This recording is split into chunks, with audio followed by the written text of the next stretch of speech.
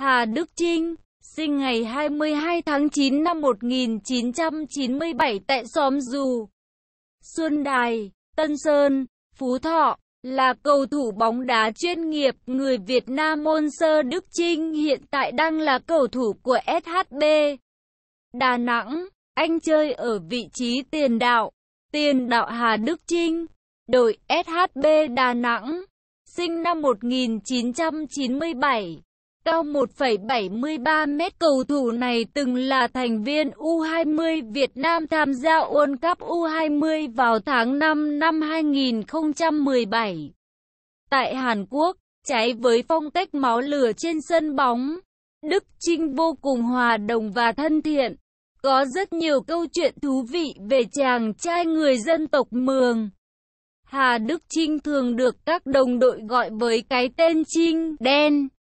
Biệt danh này xuất phát từ làn da dám nắng của cầu thủ sinh năm 1997. Sự nghiệp và phong cách thi đấu của Đức Trinh chịu ảnh hưởng lớn từ huấn luyện viên Nguyễn Việt Thắng. Thầy Thắng huấn luyện viên Trinh từ những ngày đầu chàng trai quê Phú Thọ gia nhập PVF.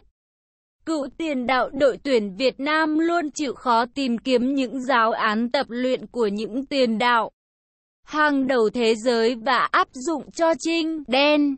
Đức Trinh không được huấn luyện viên Park Hang-seo đánh giá quá cao khi tập trung cùng U23 Việt Nam chuẩn bị cho vòng chung kết U23 châu Á.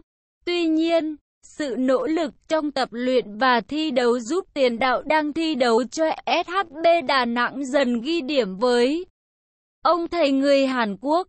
Hai pha lập công trong các trận giao hữu vào lưới Ulsan Hyundai FC và U23 Palestine giúp cầu thủ 20 tuổi được ông Park điền tên vào danh sách tham dự vòng chung kết U23 châu Á 2018. Ngoài bóng đá, Trinh Đen còn yêu thích bơi lội. Tuổi thơ của chàng trai quê Phú Thọ gắn liền với những buổi bơi qua sông để đi đá bóng. Hà Đức Trinh có đam mê ca hát. Tuy nhiên, giọng hát của anh luôn bị các đồng đội so sánh với nhân vật trai ăn trong bộ truyện tranh Doraemon. Trinh Đen yêu thích thương hiệu Mizuno. Tiền đạo đang thi đấu cho SHB Đà Nẵng lựa chọn sử dụng những đôi giày Mizuno trong tập luyện và thi đấu. Thời gian gần đây, Cầu thủ 20 tuổi cũng tham gia đóng quảng cáo cho hãng thể thao đến từ Nhật Bản. Đức Trinh hâm mộ cành cành trắng Real Madrid. Trong khi đó, thần tượng của chàng trai 20 tuổi không ai khác ngoài siêu sao người Bồ Đào Nha. Cristiano Ronaldo, Facebook Hà Đức Trinh, Trinh, Hà 758 Hà Đức Trinh sinh ngày 22 tháng 9 năm 1997. Là cầu thủ bóng đá chuyên nghiệp, người Việt Nam môn sơ Đức Trinh hiện tại đang là cầu thủ của SHB. Đà Nẵng, anh chơi ở vị trí tiền đạo.